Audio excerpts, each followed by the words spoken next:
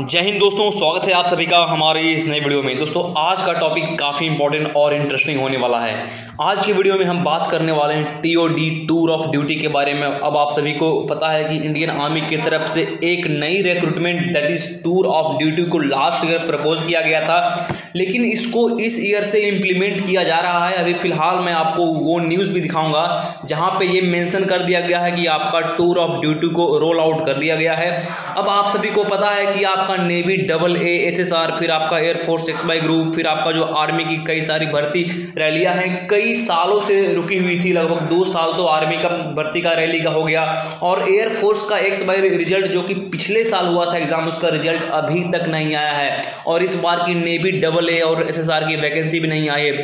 तो जो इसके पीछे का जो मेन रीज़न बताया जा रहा है, वो इसके पीछे का main reason tour of duty को ही बताया जा रहा है। तो अब फाइनली गवर्नमेंट ने इसकी फाइनली रोल आउट कर दी है। मतलब अब इससे वैकेंसी आना स्टार्ट हो जाएगा। टूर ऑफ़ ड्यूटी से अभी मैं आपको इसके बारे में डिटेल जानकारी देने वाला हूँ कि इससे क्या क्या फ़ायदा है क्या क्या नुकसान है। क्या ये तीनों सर्विसेज़ में इम्प्लीमेंटेड होंगी या आर्मी नेवी एयरफोर्स तीनों में होगी या फिर सिर्फ़ आर्मी में ही आने वाली तमाम जानकारी मैं आपको आज की इस वीडियो में देने वाला हूँ। तो सबसे पहले आप वो न्यूज़ को देखो जो मैं अभी अभी आपको दिखाने वाला हूँ तो अभी आपके स्क्रीन पर इंडियन एक्सप्रेस का न्यूज़ आ रहा होगा। आप अपने स्क्रीन पर देख पा रहे होंगे, ये इंडियन एक्सप्रेस का news tour of duty recruitment release all recruit after four years reenlist twenty five percentage of them for after a month तो ये कंप्लीट न्यूज़ है। मैं यहाँ पे इस कंप्लीट न्यूज़ को अभी सिंप्लीफाई करने जा रहा हूँ ताकि आप अच्छे से इसको समझ पाएँ। तो देखिए, जब इसको लास्ट ईयर लाया गया था तो लास्ट ईयर इस टाइप से इसको प्लान किया गया था कि थ्री ईयर्स के लिए जितने सारे लोग आर्म फोर्सेस में आना चाहते हैं, जो लोग इंडियन आर्म फोर्सेस में सर्व करना चाहते हैं, उनको थ्री इयर्स की complete service Indian defence forces में देनी होगी और उस थ्री इयर्स के बाद उनको रिटायर कर दिया जाएगा और वे दूसरे जो कॉरपोरेट वर्ल्ड हैं, जो बिज़नेस का वर्ल्ड है और जो जिस भी फ़ील्ड में अपना करियर बनाना चाहते हैं, वो फ़ील्ड में जाएँगे बट उनको थ्री ईयर्स के लिए इंडियन आर्मी में आना होगा। ये पहले इसका प्रपोजल रखा गया था, लेकिन इसका प्रपोजल जो पिछले साल रखा गया था, इसको अब कैंसिल कर दिया गया है। अब इसके बदले में इसको थ्री ईयर्स से फोर ईयर्स में कन्वर्ट कर दिया गया है। और एक चीज़ और, पहले जो थ्री ईयर्स के लिए आने वाला था, ये सिर्फ़ आर्मी में आने वाला था स्टार्टिंग में, लेकिन अब आर्मी में नहीं, ही नहीं, बल्कि आपका एयरफोर्स नेवी और आर्मी तीनों फोर्स में आने वाला है। तो अब देखिए, मैं इस जो फोर ईयर्स का जो ट्रेनिंग और ये कंप्लीट आपका सर्विस होने वाला है फोर ईयर्स को दो पार्ट में डिवाइड कर दिया गया है। सबसे पहले आपका सिक्स मंथ उसके बाद आपका three and half years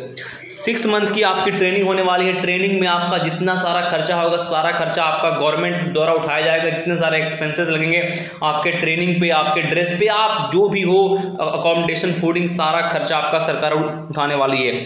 जब आप सिक्स मंथ की ट्रेनिंग कंप्लीट कर लेंगे तो आपको इंडियन आर्मी इंडियन नेवी या फिर इंडियन एयरफोर्स में कमीशन कर लिया जाएगा।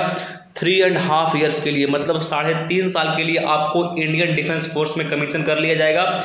और इस थ्री एंड हाफ़ ईयर्स के लिए जो आपका सैलरी होने वाला है, जो आपका ट्रेनिंग आपका पोस्टिंग सारा बिल्कुल बाकी आर्मी के ऑफिसर्स बाकी आर्मी के जवान्स के टाइप ही होने वाला है। इसमें आपको कोई डिस्क्रिमिनेशन कोई अलग आपको देखने को नहीं मिलेगा। सारा अलाउंसेस सैलरीज और इसके अलावा पोस्टिंग फिर जो जो अलाउंसेस मिलते हैं, सारा आपको सेम होने वाला है। बस यहाँ पे आपको एक बात ध्यान में रखना है कि तीन एंड हाफ़ ईयर्स का ही सर्विस होने वाला है। अब क्या ये सिर्फ़ आर्मी में ही होगा?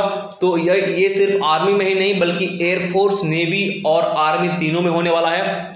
और जो आपका अभी नेवी डबल ए और एसएसआर की जो वैकेंसी रुकी हुई है और एक्स माई ग्रुप का जो रिज़ल्ट रुका हुआ है और जो आर्मी की भर्तियाँ रुकी हुई है, ये तीनों जो रैलीज और एग्ज़ाम्स जो रुके हुए हैं, ये एग्ज़ाम सिर्फ़ टूर ऑफ़ ड्यूटी को इम्प्लीमेंट को लेकर ही रुके हुए हैं। जैसे ही टूर ऑफ़ ड्यूटी इम्प्लीमेंट हो जाता है तो आपका double A S S R X group या फिर आर्मी के भर्ती की जो न्यूज़ हैं आर्मी के भर्ती के जो न्यू न्यू नोटिफिकेशन है न्यू न्यू वैकेंसी है, वो आना आपके ऑफिशियल साइट पर स्टार्ट हो जाएगा। सारे तमाम डाउट को आपको इसी वीडियो के माध्यम से, इसी चैनल के माध्यम से टाइम टू टाइम मिलता रहेगा। जैसे ही कोई नोटिफिकेशन आती है टूर ऑफ़ ड्यूटी को लेकर और इंडियन एयरफोर्स को लेकर इंडियन नेवी को लेकर तो आपको इस चैनल के माध्यम से लगातार जानकारी मिलती रहेगी। आप इस चैनल को सिंपली सब्सक्राइब कर लें। अब देखिए, जब आप थ्री एंड हाफ़ ईयर्स की सर्विस कर लेंगे इंडियन डिफेंस फोर्स में तो आपको रिटायर कर दिया जाएगा।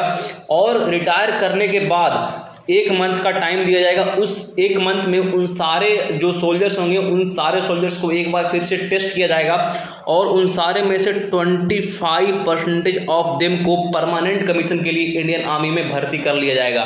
और जो बाकी सेवेंटी फाइव परसेंट रहेंगे, बाकी सेवेंटी फाइव परसेंट को फिर जो भी आपको काम करना है, जिस भी कॉरपोरेट वर्ल्ड में जाना है या फिर जो भी आपको बिज़नेस संभालना है मतलब आपको कोई दूसरे ऑक्यूपेशन को ढूंढ लेना है। बस इंडियन आर्मी में मात्र ट्वेंटी फाइव परसेंटेज को ही परमानेंट कमीशन मिलेगा।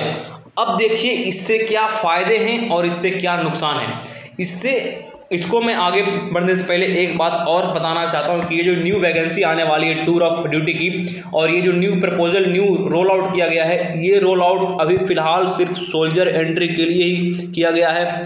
मतलब जो नेवी डबल ए और एसएसआर में सेलर बनेंगे या फिर एयरफोर्स एक्स बाई ग्रुप में जो एयरमैन बनेंगे और जो नेवी में जो ये आर्मी में जो जवान बनेंगे तो इन एंट्री में ही सिर्फ़ अभी टूर ऑफ़ ड्यूटी को रोल आउट किया गया है। ऑफिसर्स एंट्री में अभी इसके द्वारा कोई रोल आउट नहीं किया गया है। ये जानकारी अभी आपको अपने दिमाग में बैठा लेना है। बट ऐसा लग रहा है कि आगे आने वाले समय में with in next year it will be implemented for the officer card cadre also so you have to be very much prepare for that अब देखिए, मैं आपको बताने वाला हूँ कि इससे क्या फ़ायदा होगा, क्या नुकसान होगा। तो सबसे पहले मैं आपको बताऊँगा कि इससे क्या बेनिफिट होगा। तो सबसे पहला जो बेनिफिट होने वाला है कि more and more candidates more and more people will get chance to serve the nation being in uniform क्योंकि जब टूर ऑफ़ ड्यूटी के द्वारा जब वैकेंसी आएगी तो बहुत सारे लोग को एक साथ रिक्रूट कर लिया जाएगा फोर इयर्स के लिए। और इसमें से जो रिक्रूट होंगे इनमें से मात्र ट्वेंटी फाइव परसेंट को ही परमानेंट कमीशन के लिए फिर से रिक्रूट किया जाएगा आर्मी में। वो भी मेरिट के बेसिस पे सिलेक्शन के बेसिस पे। और इससे जो इंडियन आर्मी बोल रही है इंडियन आर्मी यही बोल रहा है कि इससे हम जो नंबर ऑफ़ कैंडिडेट जो नंबर ऑफ़ एस्पिरेंट्स हैं, उनकी संख्या बढ़ जाएगी और उनका रिक्रूटमेंट काफ़ी ज़्यादा नंबर में होने वाला है। तो ये आपका फ़र्स्ट बेनिफिट है।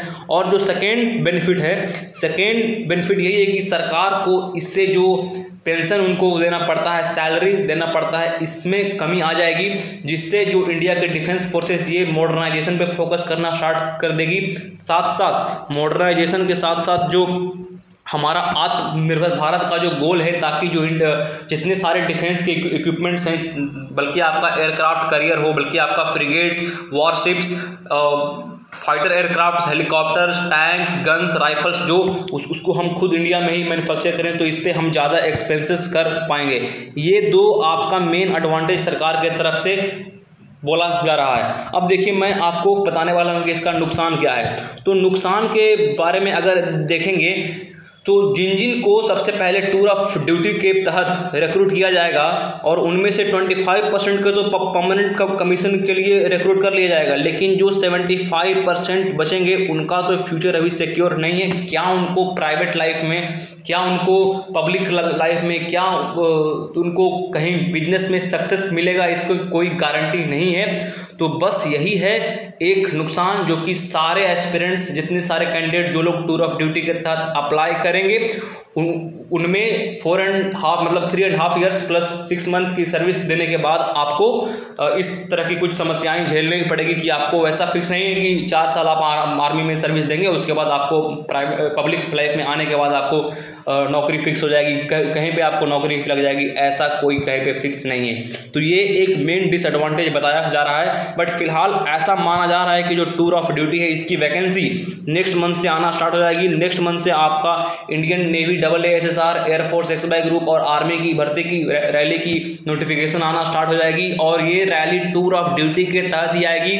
जिसकी रोल आउट ऑलरेडी कर दी गई है और ऐसा माना जा रहा है कि अच्छे सारे कैंडिडेट बहुत सारे कैंडिडेट काफ़ी नंबर ऑफ़ कैंडिडेट को इसके तहत रिक्रूट किया जाएगा, जिससे more and more aspirants more and more candidate will get a chance to serve in the Indian arm forces being as a uniform personnel and they will feel pride for that अब आपको इसके लिए पता होना चाहिए कि जो एक कंट्री ऑफ़ इसराइल है इसराइल में एक ऐसा नियम है कि आपको मिनिमम अगर आप इसराइल के नागरिक हैं तो मिनिमम आपको थ्री इयर्स मिलिट्री में सर्व करना ही करना है। आप थ्री इयर्स के बाद मिलिट्री को छोड़ सक, सकते हैं, लेकिन अगर आप इसराइल के सिटीजन हैं तो उस केस में आपको minimum three year of service Israel forces को देना पड़ेगा।